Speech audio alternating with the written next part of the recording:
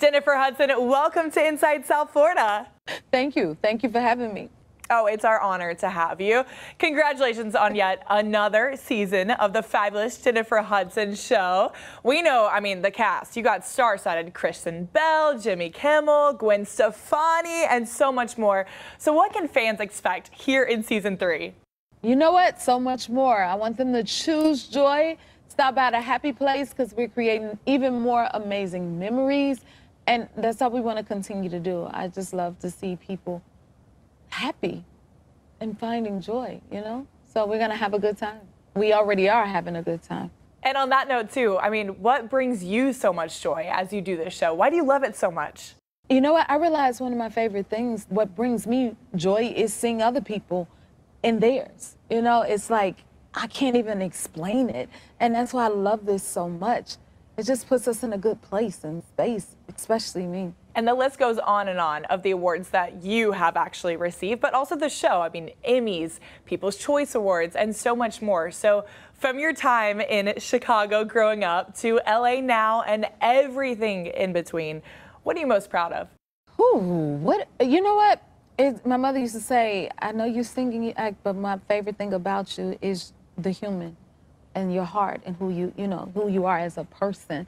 And that's to me is what the the show represents us as human beings. And so to be received from a human is by far the best gift ever.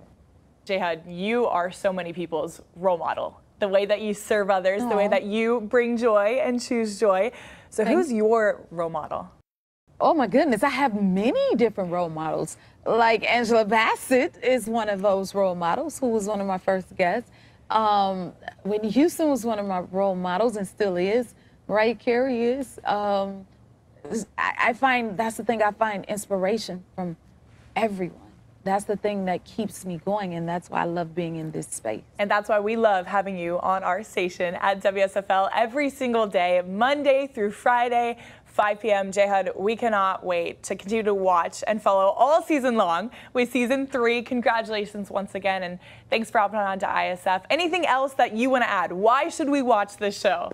You know what? We're creating great memories. I want you to choose joy. A thing that I feel like we all need right now. We have a lot of fun. Everyone walks away saying their spirits are lifted and they had a great time. And all I want to do is lift your spirits and help bring us all a bit of joy. And it would bring me joy to see you have joy.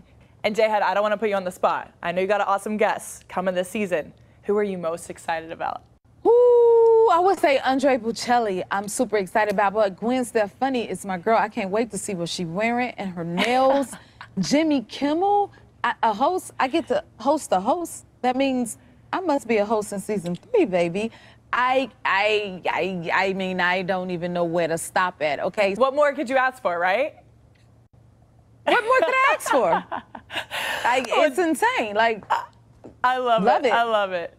Amazing. Well, I love you. I love the show. And again, we're so happy to have you continuing on WSFL every single day, Monday through Friday at 5 p.m. ISF. You guys make sure to check it out. And JHud, thanks for hopping on the show. Thank you for having me. Thank you.